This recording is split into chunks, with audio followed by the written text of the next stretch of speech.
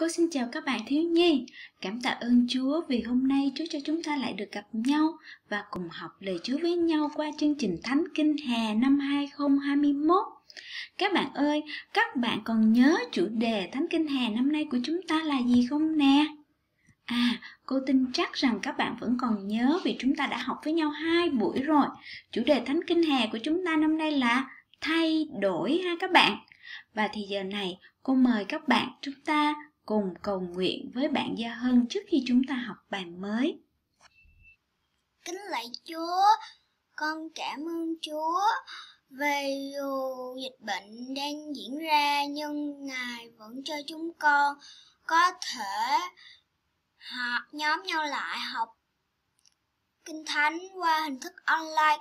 Cầu xin Chúa cho chúng con học cũng được tốt, có sự thông minh, thông sáng nghe cô giảng cũng được chăm chú.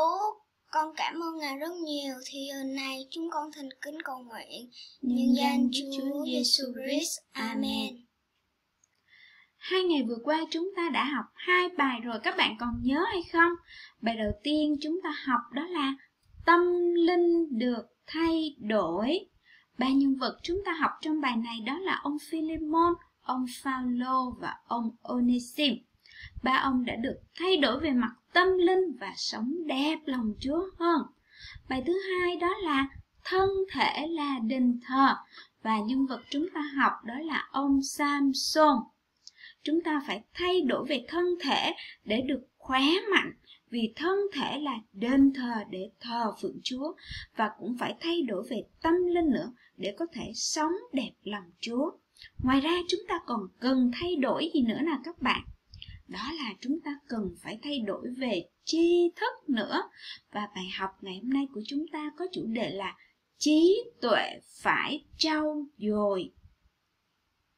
Học văn hóa mà biến nhát thì chúng ta cũng không giúp được cho xã hội và cũng không giúp gì được cho hội thánh. Vì vậy, khi có cơ hội học tập thì chúng ta phải cố gắng để học giỏi.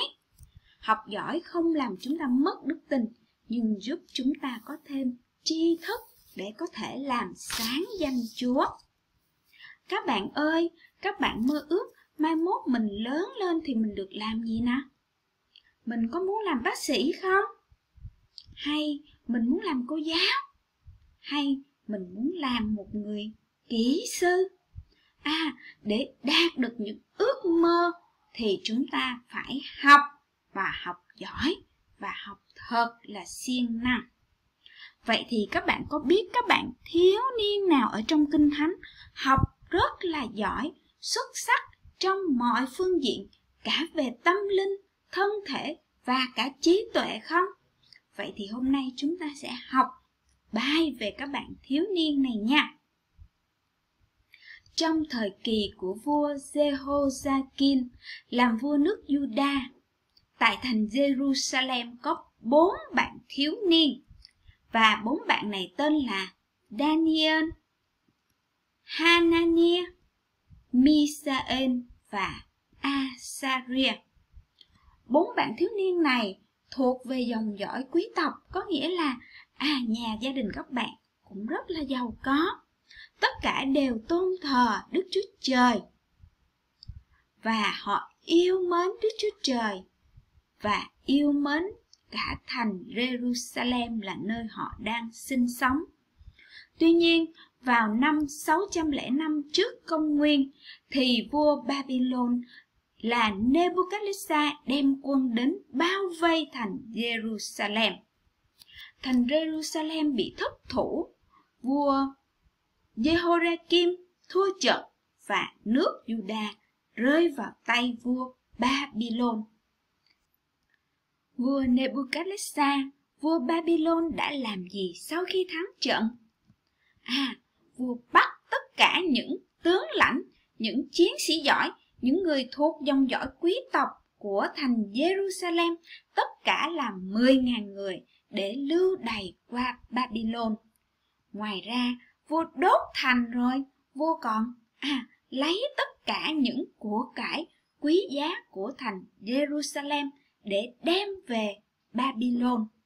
Vậy thì nhóm bạn Daniel Hanania và Misael, Asaria thì sẽ như thế nào?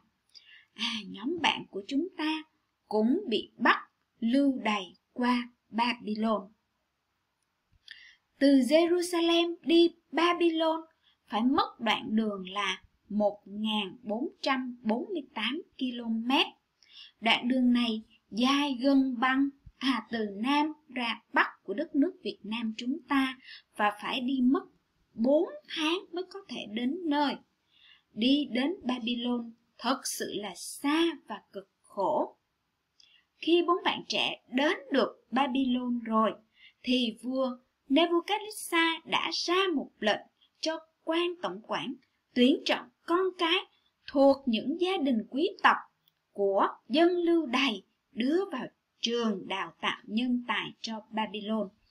Mục đích của vua Babylon là muốn có những người tài giỏi để phục vụ trong triều đình của mình. Sau đợt tuyển chọn thì chắc chắn rồi các bạn, nhóm bạn của chúng ta đó là Daniel, Hananiah, Misael và Asaria đã được tuyển chọn. Bốn bạn rất yêu mến Chúa, bị lưu đày qua một đất nước xa lạ và bây giờ họ được tuyển chọn để học tại Babylon và thời gian học là 3 năm.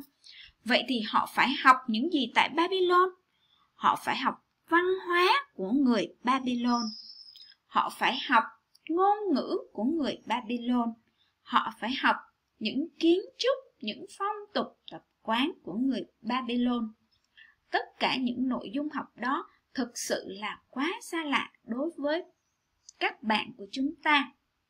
Bốn bạn đã à, phải rời khỏi đất nước của mình đến một nơi xa lạ và phải học một thứ văn hóa mới, một thứ ngôn ngữ mới, thực sự là khó khăn cho các bạn. Và chúng ta cùng xem lại, tại Babylon thì các bạn phải học gì nè? Các bạn phải học văn hóa của người Babylon.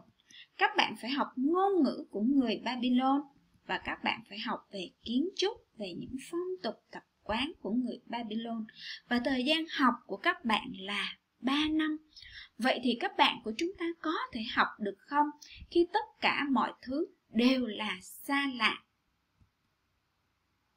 Các bạn của chúng ta chắc chắn gặp rất là nhiều khó khăn khi phải học những điều mới và các bạn mặc dù ở một nơi mới, ở một đất nước xa lạ nhưng các bạn vẫn trung tín cầu nguyện với Chúa Trước hết, các bạn cầu nguyện để xin Chúa ban cho các bạn có được sự thông minh trong việc học hành.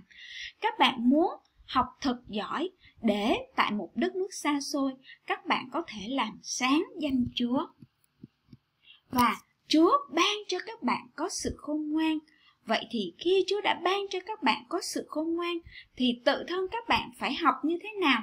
Các bạn phải học một cách siêng năng học một cách siêng năng đó là học chăm chỉ, đến lớp để học, không phải để nói chuyện, để chơi, và về nhà các bạn cũng lo học tập chúa ban cho sự khôn ngoan, thì các bạn phải học một cách có kỷ luật và học một cách có phương pháp thì mới có thể học giỏi được và khi chúa ban cho các bạn sự khôn ngoan thì các bạn giúp đỡ nhau trong việc học tập.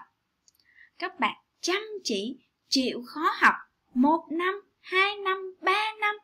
Cô nghĩ rằng nếu như các bạn chăm chỉ thì các bạn học rất là tốt. Và tại Babylon thì các bạn được vua đặt cách cho ăn những đồ ăn và thức uống giống như là của vua vậy vua ban cho họ những thức ăn, nước uống thật là ngon. Nhưng các bạn của chúng ta đã quyết định à, không ăn đồ ăn và không ăn thức uống mà vua ban. Lý do có thể là những đồ ăn thức uống này à, đã thờ cúng cho thần của người Babylon.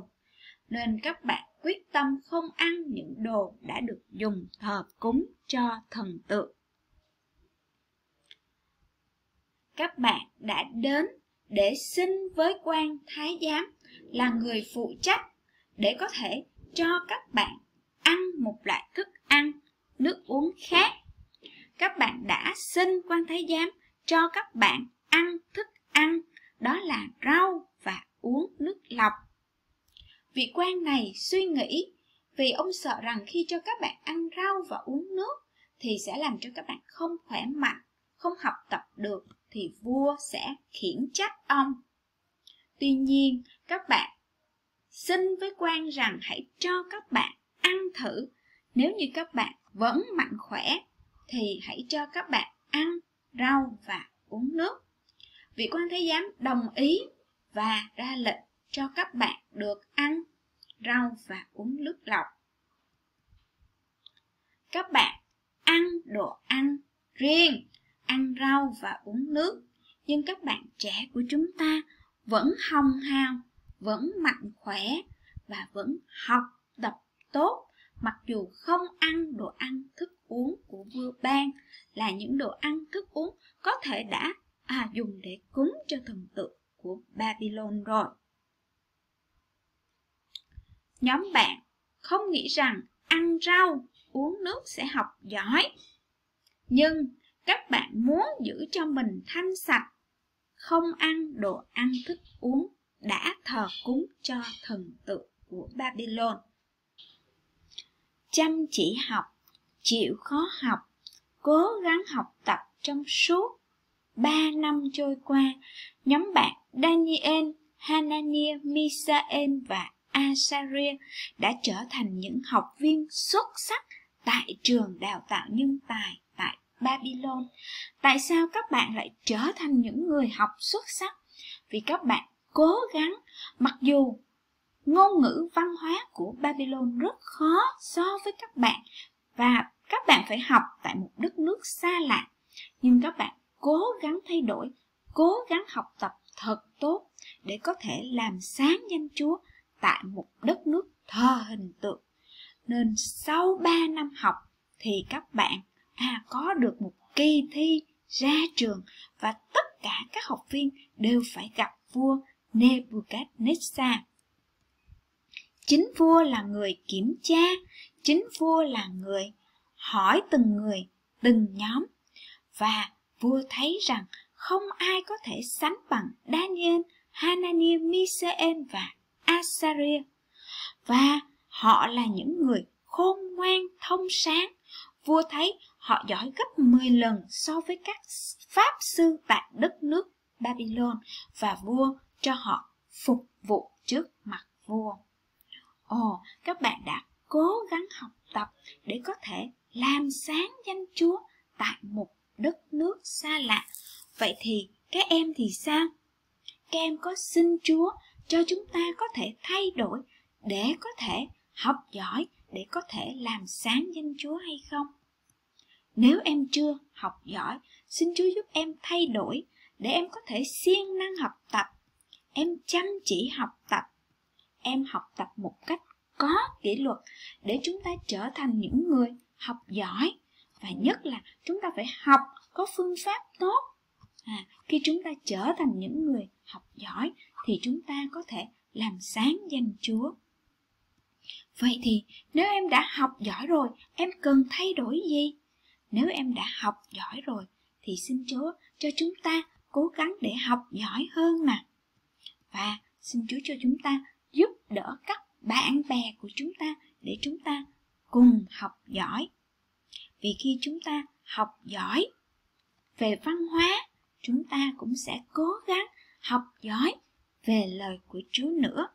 Khi chúng ta học giỏi về lời chúa học giỏi về cả văn hóa nữa thì chúng ta sẽ trở thành người có ích cho xã hội có ích cho hội thánh làm sáng danh chúa và à, ích lợi cho công việc của nhà chúa. Chúng ta phải làm sao các bạn? À chúng ta phải học giỏi lời chúa học thật giỏi lời của chúa để chúng ta có thể làm theo lời chúa và sống đẹp lòng chúa. Nhưng song song đó, chúng ta cũng phải học giỏi ở trường nữa. Đừng có bao giờ suy nghĩ rằng chúng ta chỉ cần học giỏi lời Chúa thôi, còn việc ở trường thì chúng ta không cần học giỏi nha các bạn. Chúng ta phải học giỏi lời Chúa đó là điều quan trọng nhất và bên cạnh đó chúng ta cũng phải học thật giỏi ở trường để chúng ta có thể làm sáng danh Chúa ở trường nữa. Và bây giờ cô và các bạn chúng ta cùng học câu gốc của bài học ngày hôm nay. Chúng ta cùng đọc câu gốc nha các bạn. Lòng người khôn khéo được sự tri thức và tai người khôn ngoan tìm kiếm sự hiểu biết. Xin Chúa cho em có lòng khôn ngoan để tìm kiếm sự tri thức và tai em biết nghe, biết tìm kiếm những điều ích lợi để nghe, để có thể nghe điều hay, điều tốt và nghe lời Chúa. Chúng ta cùng đọc lại câu gốc này một lần nữa nha các bạn. Lòng người khôn khéo được sự tri thức và tai người khôn ngoan tìm sự hiểu biết. Châm ngôn đoạn 18 câu 15 Xin Chúa giúp con thay đổi nè, biết trau dồi tri thức để học giỏi về lời Chúa và cũng học giỏi tại trường nữa, để làm sáng danh Chúa bất kỳ nơi nào chúng con sinh sống. Bài học của chúng ta hôm nay có tựa đề là trí tuệ phải trau dồi. Kinh Thánh là ở Daniel đoạn 1 từ câu 1 cho tới câu 21. Câu gốc là ở châm ngôn đoạn 18 câu 15. Bài học của chúng ta hôm nay hết rồi. Các bạn nhớ làm bài tập mà cô gửi cho các bạn nha. Cô chào tạm biệt các bạn và hẹn gặp lại các bạn